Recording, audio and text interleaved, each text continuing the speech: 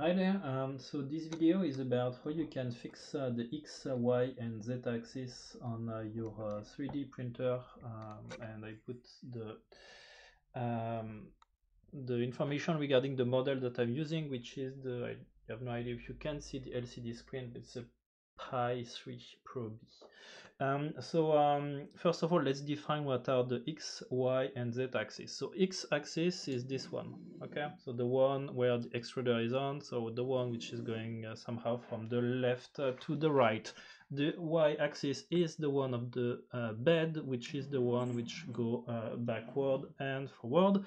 And the zeta-axis is probably the most complicated of all of them, is the one which goes from the uh, up to uh, down from up. Okay, so that's zeta-axis, and uh, it's kind of complicated because you have two motors which are controlling it.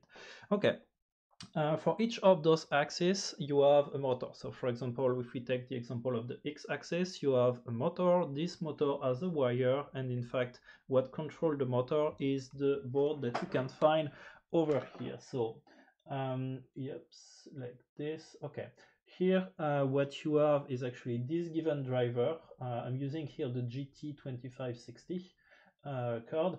Uh, so this given chipset control the x-axis, which is the following wire. Okay, don't mess up. Uh, the big mistake that I did at the beginning is actually I put this one and I put it here at the end.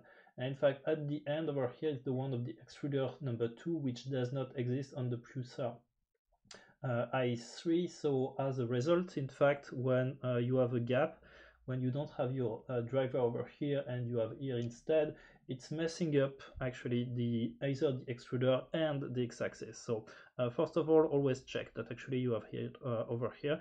Um, the one that you can see over here, those small cable, the black one, the red one, and the blue one are the one which uh, control the switch.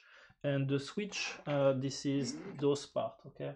This is what we call a switch, and that's uh, most of the time the minimum value that, the, for example, here the y-axis is going to reach when it starts. It's, it's really important and those are uh, the, the right connection that you can see uh, over here. If uh, you have, um, let's say, a concern regarding the wire, if you think that the wire is broken, don't go and purchase one straight away. What you can do is that you can switch it with another one and see if actually uh, your motor is running and if that's the case with another switch probably means that actually you are not uh, using it uh, properly but at least it's not broken. Same thing for the motor. If you think that your motor is dead just try um, another motor and uh, I mean just uh, change the different uh, chip here and try to see if the motor is running on another switch. Um, I mean on another port okay uh, that's the thing. Um, so regarding the x-axis, the reason why for me it was not working at the beginning was because I put this driver, I put it uh, on the other slot that I just show you, which was this given one. Um, I did not get that much issue with the y-axis, it worked straight away. And regarding the zeta axis, in fact, um, here I didn't understand why my motor were not uh, working properly. Uh, the reason is that actually you see this part, this uh, rubber part of the x-axis, I had it too tight. And as a result, because I had it too tight, this given bar was in fact not uh, straight like this, it was a little bit bent like this of about uh, 1 to 2 millimeters on the left and because that was tight so it was pushing this given bar and as a result in fact the motor uh, were forcing and uh, could not uh, make it work on the zeta axis. So if you want to check if that's uh, the reason why your zeta motor are not working what you need to do is that you take a meter such as such as this one and you calculate uh, the distance that you have over here okay to the one that you have here down below. And if you see a tiny difference even one millimeter it means that actually uh, it's forcing probably uh, here or probably here. That's why in the forums they uh, most of the time ask you uh, to remove those parts out like this. You won't have any resistance and uh, it will work straight away. The issue is that due to the motor you will have some gravity which means that the day after when you uh, pick up your printer uh, the motor won't work anymore because uh, your structure will be la like this. Um, okay that's uh, what I wanted to show you. Uh, right now let's see if that works. So I just put my motor on like this and then I go back on my um, I go back on my uh, Repetier um, yes Repetier software.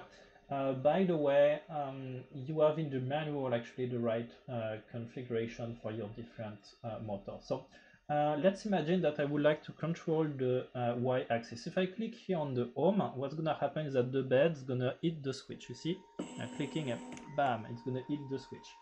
Um, things to know here is that uh, those are for the x-axis and those are for the y-axis and you can see that you have different level in, in Repetier in fact. It's not just the button, it's the level in itself. So if you want actually to have the bed coming like uh, 50 in this direction, what you need to do is that uh, you just need to click on it and it's gonna move in the right uh, direction. You see that? Yeah, it's moving in the right direction. Okay. Same thing for the x-axis. So here, if I want to move it by 10, I click on it and then it's to move by 10. If I want to move it by 50, it's to move by 50. Okay. Um, and by the way, my wiring are not uh, secure here. I should actually uh, find a way to put them like this in order to ensure that uh, the wiring is, is good. Uh, okay, so regarding the zeta axis, uh, same stuff. If I click here on zeta, it will go back until until the home Okay. Okay. Okay, you see this is not good at all, right? This is this is forcing on the structure. Oops.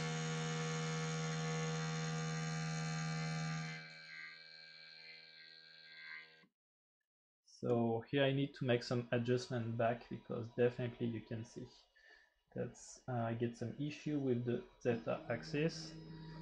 That's uh, yeah as you can see this part is is running fine and I can go down as well so here definitely I need to find what is the the good balance in order for the z-axis to just hit this given switch without uh, forcing too much and as you can see